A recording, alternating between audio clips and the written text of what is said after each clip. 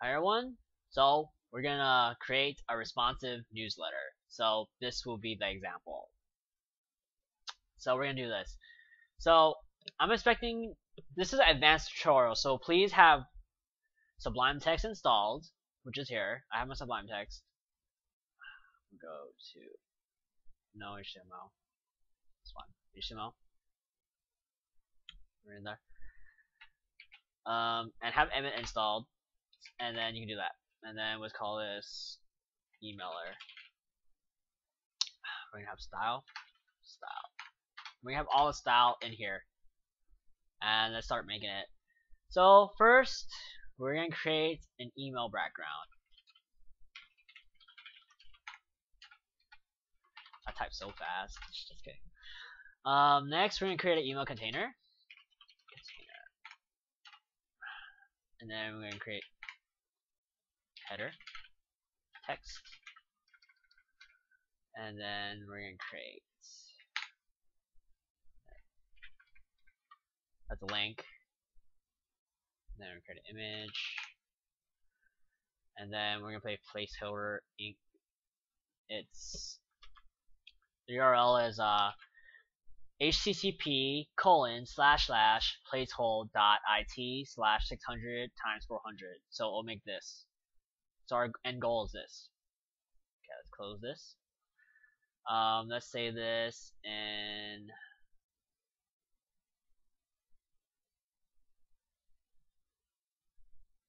cost emailer.html bam it's in here so yeah. and then we're gonna preview it. Right click, open in browser. This is what it has right now. This is it. There's no clicking. See? This is what it has. With that. And next, we're gonna create a paragraph. Lorem. Bam, lorem. And then we're gonna have, I should have this next to, so like that, so you see it. Okay. Next, we're to create a CTA.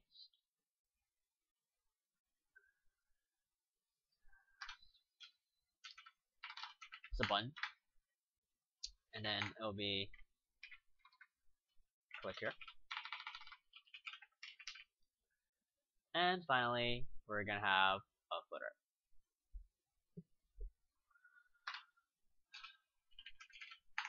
Dot footer because I'm making classes and then I'm gonna create two links.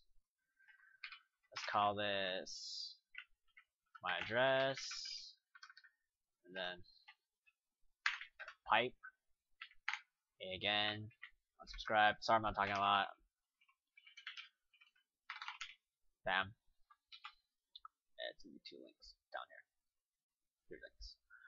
Alright, the fun part. We're gonna start styling. Okay. Okay, first it'll be email background.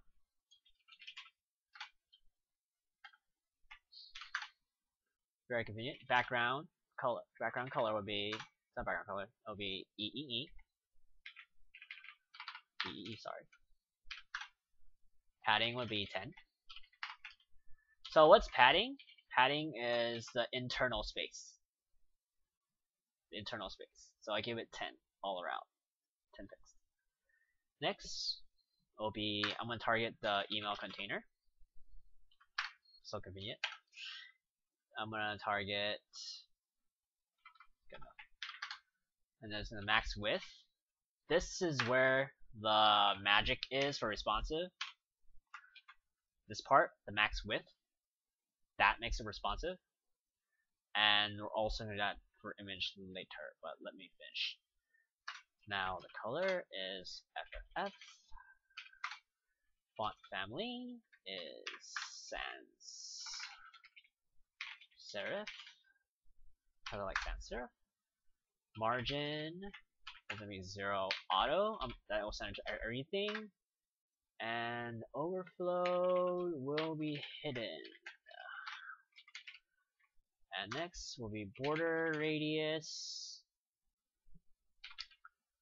this mix gives it the nice little curve at the end of the edge. You'll see.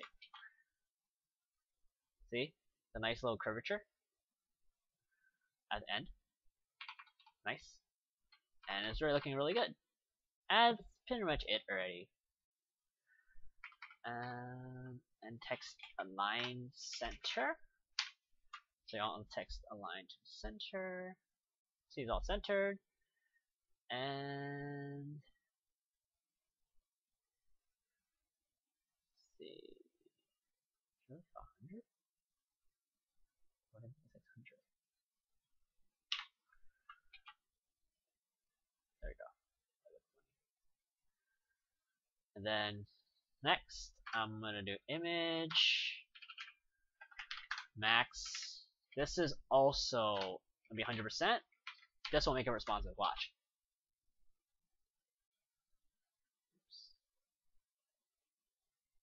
Now it shrinks.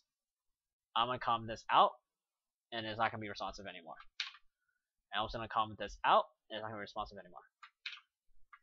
See, and then we refresh, it's not. Watch. See, it's just not responsive. And we uncomment these out, so it'll be control comma, control comma, and the responsive. Again, refresh, and here we are see. This is done. It's really looking really good. Next, we're gonna create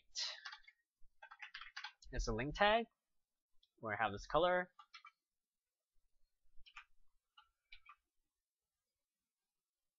Nice. Okay, next we're gonna do the paragraph. So margin is gonna be 20 pixels font size 18 pix font weight many options 300 color 666 line height 1.5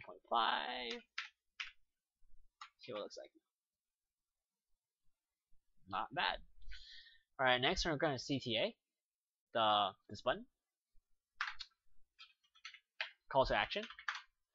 So I'll give it a margin of 20 pixels. Next, I'm going to do CTA A. A. Okay. It's going to be text decoration. None. See, it's gone. Display. Inline block.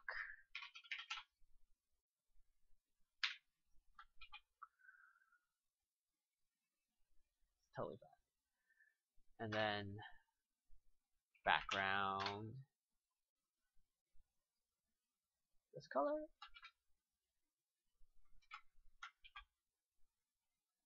Add some blue. And then the color is gonna be FFF, which is white. And that's a text color.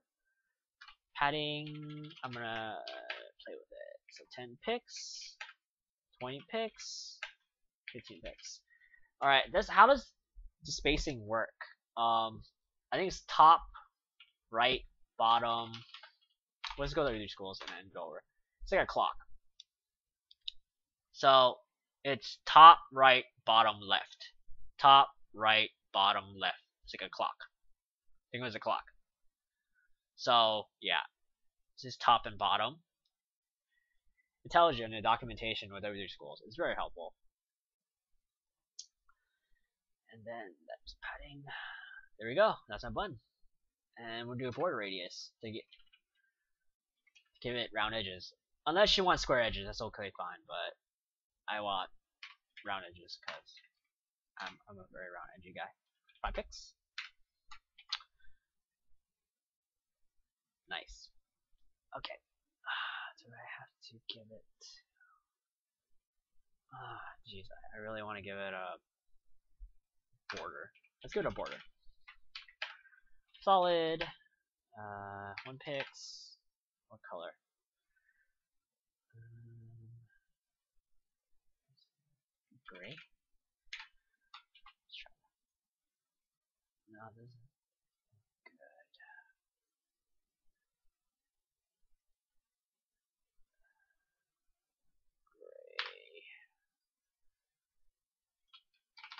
good. Grays. Color.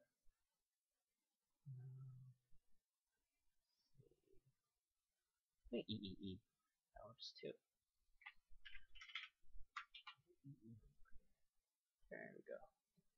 Uh, not really. I think I might remove it. But if you want a border for it, then yeah. But I don't have time to fix the color up right now. I don't want to stand out. But right now it looks fine. This is the call to action button. And then we can work on the footer. Footer. Footer. And let's give it background none, none, padding. Hope you guys see all this on this screen, on this side. It's really small, sorry. 20 pix.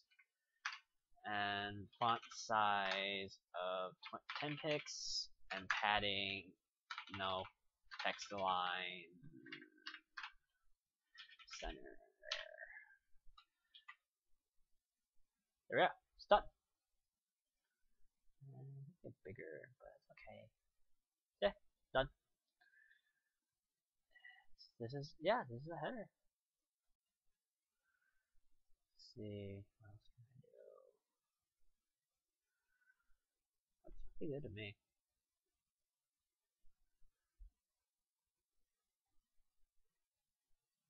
We should make 500, 400. Be 500. Let's try 500. Let's try that. No, I think I got it.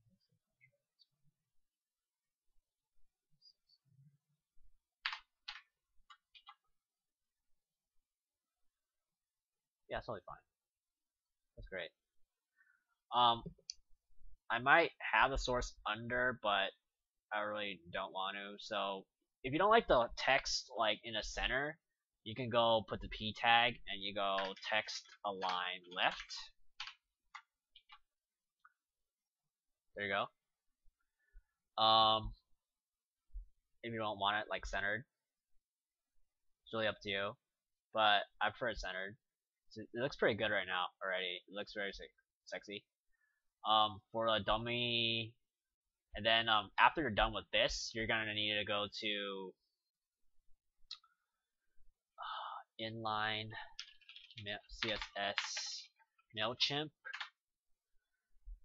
Yeah, inline it. So basically, you're gonna have to inline all your your CSS. So let's look at inline CSS. I think it's style.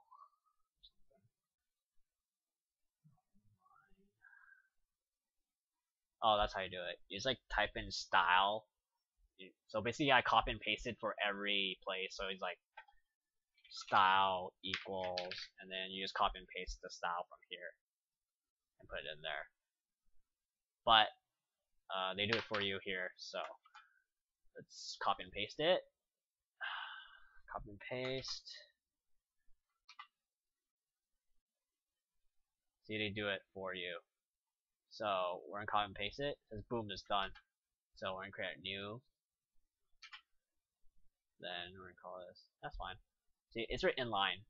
So basically, it just grabbed this and just put it in a style, and then just put it all in here. That style.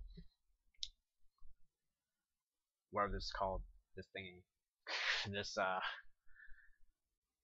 inline style thing, whatever it's called. I don't know what's called right now. On my head, my brain's not working. So yeah, that's how you do it. And um, I'm missing something because I didn't do prefixes. Because like not all browsers support everything, but I'm assuming everyone's using Chrome is totally fine. So I think I have an auto prefix. Let me copy and paste. Copy. File.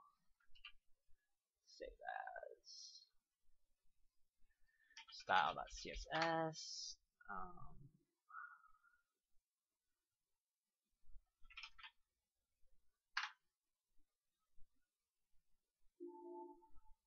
what? What's that supposed to mean? What is that supposed to mean?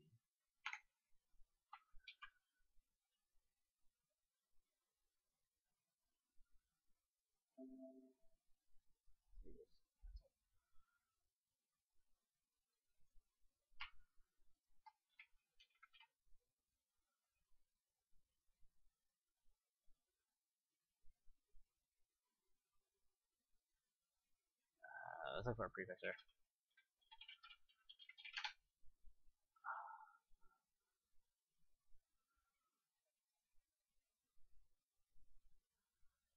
Like something like this, but